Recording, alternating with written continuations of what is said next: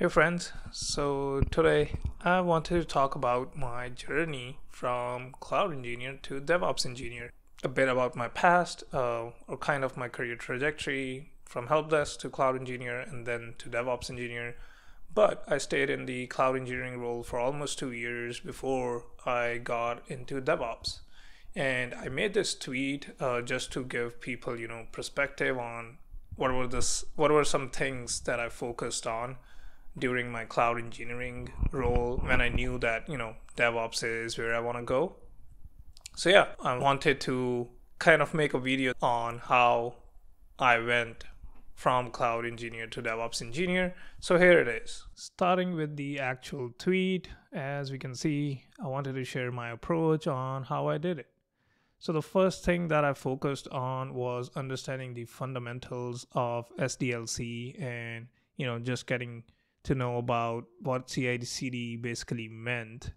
So, you know, SDLC stands for Software Development Life Cycle, and I just kind of was trying to understand how our company, how the app and the SaaS that we provided, uh, what was the development life cycle for it, you know, from uh, working on a feature to how uh, the builds were done in TeamCity to how it was deployed in AWS what were some things that could be improved? What were some projects that the cloud engineering team wanted to work on uh, and were would fall under the devops kind of space? So yeah sdlc uh, cicd which stands for continuous integration and continuous deployment. So i recommend checking out fireship's youtube video.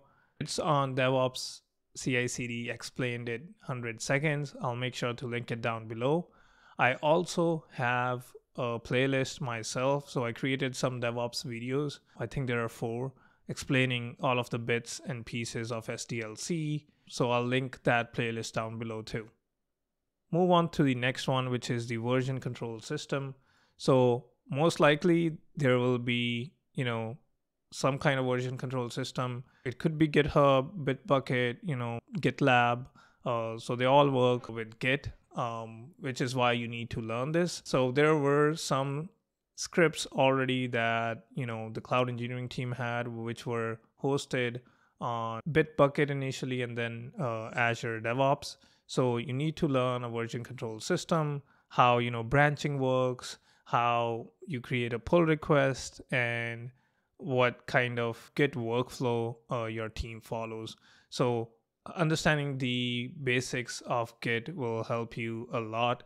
So I highly recommend this video from Kunal where he has a complete Git and GitHub tutorial. So go check it out. You know, it's an awesome resource to upskill yourself with Git. So the next one uh, on the list was IAC. I knew where the kind of the focus of the company was at that time. You know, we want we were using CloudFormation and we were trying to automate a lot of the deployment process of the infrastructure uh, in AWS, but we were also exploring, you know, Azure and GCP. So for me, it was a no-brainer. I also consulted with the manager and other teams and realized that you know Terraform, since it's cloud agnostic would be a great resource to learn. So IAC stands for Infrastructure as Code, and Terraform is one of those uh, infrastructure as code tools. So you write, so Terraform has their own syntax, um, but basically you write a script or a code file which would define your infrastructure and it also deploys it for you.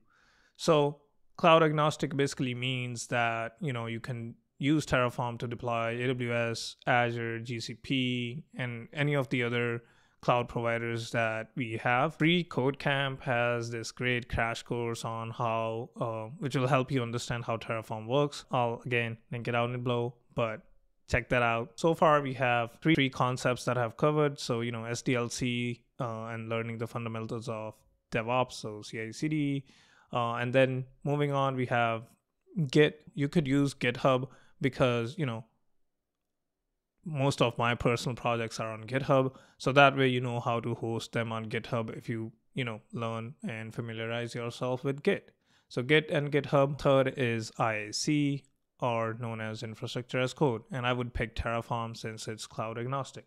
Moving on to the fourth one, which is configuration management. So, you know, it is a systems engineering process for establishing and maintaining consistency of a product's performance.